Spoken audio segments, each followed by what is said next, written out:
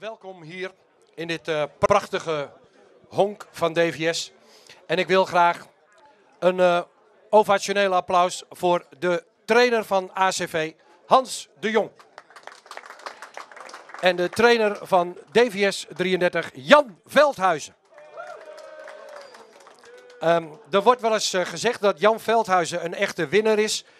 Je had er behoorlijk veel last van vandaag, Hans. Nou, ik had van Jan geen last, maar zijn ploeg had ik wel last van.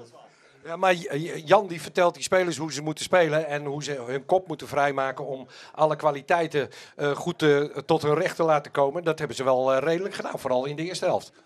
Dat hebben ze prima gedaan, dus hadden wij de eerste helft absoluut geen antwoord op. Nee. Wat, wat, was precies jullie plan? Hoe wilden jullie DVS gaan bestrijden vanmiddag? Gewoon zoals we normaal spelen. Dus de afgelopen acht wedstrijden ook gespeeld hebben. Dus vanuit balbezit proberen tot kansen te komen. En nou ja, je hebt de eerste helft gezien. Dat, dat plan lukte niet helemaal. Nee, maar had je geen plan B toen je zag dat jullie enorm werden afgejaagd door het collectief DVS, mag ik wel zeggen? Nou, dan moet ik op individuele spelers ingaan. Dat doe ik dus niet. Ik, ja, we hebben een plan B, we hebben een plan C, we hebben zelfs een plan F. Maar je moet daar wel de spelers voor hebben. op het moment moet dat wel passen. En je kunt er gaan wisselen als een gek. Maar uh, op dit moment zat het er even niet in in de eerste helft. Heb je als uh, trainer van zo'n tegen, tegenpartij uh, DVS 33 ook nog een beetje um, zeg maar, de, de, op bepaalde momenten kunnen genieten van het spel van DVS? Nou, ik moet zeggen, ik heb wel gezien dat er een stel hele, hele leuke voetballers tussen lopen. En, maar genieten gaat wat heel erg ver, want ik had het veel te druk met mijn eigen team. Ja. Oké. Okay. Jan, jij hebt vanmiddag denk ik enorm genoten. Ja, ja nee, ik, nou, je, je, je, praat soms over een gevoel wat je hebt. En wij, wij, hadden voor de, voor de wedstrijd al het gevoel een beetje van... er kunnen van, vandaag wel eens mooie dingen gebeuren. Dat is nergens op gebaseerd of nergens op. Want we, we trainen donderdag geweldig uh, in de 11 tegen 11. En uh, als je dan ziet dat wij uh, met name de eerste helft zo ongelooflijk veel druk creëerden. waardoor hun eigenlijk niet aan voetballen toe konden komen. En, en, we wisten ook natuurlijk wel dat de ACV gewoon een hele goede voetballende ploeg heeft. Ja, en dan neem je ook nog wel een klein beetje risico door vol door te stappen met je tien en van achteruit één op één te gaan spelen. Maar als je die jongens vandaag ziet ballen, ja, dan, dan, dan ben je gelukkig mens. Het werd ook, het werd ook wel werkelijk door de voltallige ploeg uh, gedaan. Hè? Ze, dit, heel compact en ongelooflijk uh, veel storend uh, werk. Ja, nou, normaal gesproken proberen we met drie man de, de, de, opbouw te storen. Alleen tegen ACV is dat waarschijnlijk te weinig. Dus wat, wat dat betreft hebben we misschien wel gegokt. Of gegokt is misschien niet het hele goede woord. Maar, maar wel heel gedurfd vol door te stappen. En op het moment dat je merkt dat zoiets werkt in het veld. Ja, dan dan, dan voelen spelers dat ook. En ja, dat, dat, dat, had je vandaag een beetje. Ja, Oké, ik noem toch even twee namen bij, bij jullie ploeg die, die ik vandaag gemist heb vanwege de bekende vier gele kaarten, Seintje en Geubel. Zijn die toch zo belangrijk dat, dat dat zijn weerslag had op de, op de wedstrijd of op de ploegprestatie van jullie ACV? Nou, het zou wel heel makkelijk zijn om het, om het daar neer te leggen. Kijk, het zijn twee basisspelers, dus die zijn heel belangrijk. Angelo is aanvallend ook belangrijk. Maar ja, ik vind ook, we weten dat we niet een hele grote selectie hebben. We weten ook dat we met een team moeten doen, uh, de ploeg die we hebben. En dan vind ik ook dat je gewoon uh, de mensen moet opstellen die op dat moment aan de beurt zijn.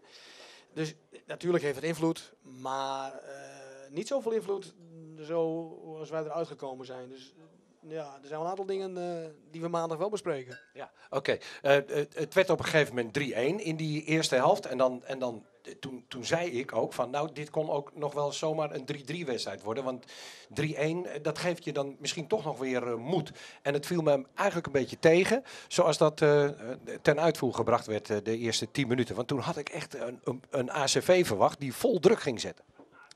Ja, dat was de bedoeling ook. En dat viel mij ook een beetje tegen. En dat heeft te maken met, denk ik, de start. de eerste helft heeft er gewoon mee te maken we zitten er niet goed in. We zitten niet goed in de wedstrijd. Nou, we maken 3-1. En dan denk ik van, nou, ja, het zou ook maar zo inderdaad 3-3 kunnen zijn. Want zo'n ploeg hebben we wel hoor. Op het moment dat het gaat draaien en we gaan voetballen. Dan, ja, dat weet ik. Dan kan dat zomaar. Maar op een of andere manier was het geloof daar ook niet. En ja, daar valt na rust uiteindelijk die 4-2. Of uh, de 4-1, wat was het? Dan moet ik even gaan rekenen, dat was heel veel goals. Ja. Eerst 4-1 en uh, direct daarna Edu. Edu de, Ro de jonge Rosa die maakte uh, dat prima af. En toen werd het 4-2. Volgens mij kregen we toen nog een hele aardige kans. Of het terecht is of niet, dat doet er niet toe. Maar volgens mij kwam Mulder alleen voor de keeper. En nou, toen had ik zoiets van, als je, als je deze maakt, in die flits, dan wordt het nog heel aardig. Maar ja, op een of andere manier zat het er niet in. En uiteindelijk was die, die overwinning natuurlijk dan ook wel dik verdiend. Ja, uiteraard. Ik kan moeilijk zeggen van, eh, nou, het is geflatteerd of dit en dat. Dat is absoluut niet zo. Eh, het is heel simpel. Zij, zij waren vandaag gewoon veel beter. Oké, jij bent eh, vandaag ongelooflijk trots op je jongens, want ze hebben precies datgene gedaan wat jij voor ogen had, samen met je staf. Ja, ja ja, het, het gaat er niet zoveel om eh, wa- wa- wat ik wil. Het gaat om dat die jongens eh, in het veld plezier hebben. En, eh, en, en ook het besef hebben van joh, op de momenten dat wij die gasten zo hoog mogelijk bij de strot pakken eh, en, en pijn kunnen doen. Ja, ja dat, dat, dat gevoel bij die jongens eh, probeer je wel te creëren. En, eh, en ze hadden vandaag ook duidelijk echt dat besef van joh, potverdorie zeg, we zitten er met z'n allen behoorlijk op. En op de momenten dat we de bal ha- hadden, waren we behoorlijk rustig en, eh, en maakten we ook heel veel goede keuzes. Dus eh, ik ben zo blij als een eh, klein kind. Ja, oké, ik ook. En eh, ik, ik merk dat het een beetje rumoerig wordt daarachter, achter, dus ik maak er heel snel een eh, eind aan. Maar eh, ik wil nog wel even vragen aan eh, Hans de Jonge, eh, de volgende tegenstander over twee weken. Hans de Jong, moet ik zeggen. Dankjewel. Eh nou, thuis. Dus eh, we gaan het thuis weer rechtzetten. Tegen Staphorst. Staphorst, altijd lastig. Ja, uit en thuis. Maar dat maakt niet uit. Eh, we gaan, Een hele podige knapen. eh, dat klopt. Maar goed, we gaan het gewoon weer rechtzetten. Veel succes eh, Hans en bedankt voor dit interview. Jan, jij ook veel succes volgende week, Kluisterhaar. Altijd lastig hè? Ja. Oké, bedankt. Goed weekend.